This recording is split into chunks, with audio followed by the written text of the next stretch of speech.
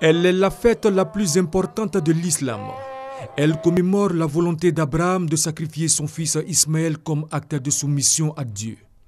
La Tabaski, ou la grande fête, ou encore la fête du sacrifice célébrée à la mosquée de l'ancien camp militaire d'Akwedo, en présence du ministre d'État, ministre de la Défense Ahmed Bakayoko. Une prière de Derakat dirigée par l'aumônier principal Mohamed Doli, qui a dans son sermon expliqué le sens du sacrifice d'Abraham, puis invité les forces armées à la réconciliation, à la cohésion et à la crainte de Dieu.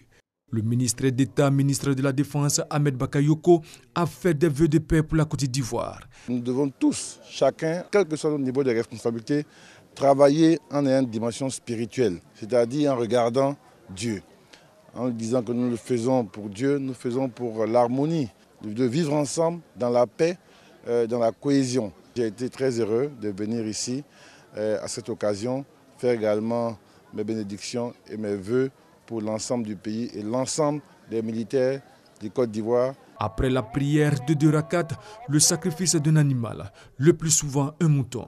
La fête de la Tabaski ou l'Aïd el-Kébir ou la grande fête marque également la fin du pèlerinage à la Mecque en Arabie Saoudite.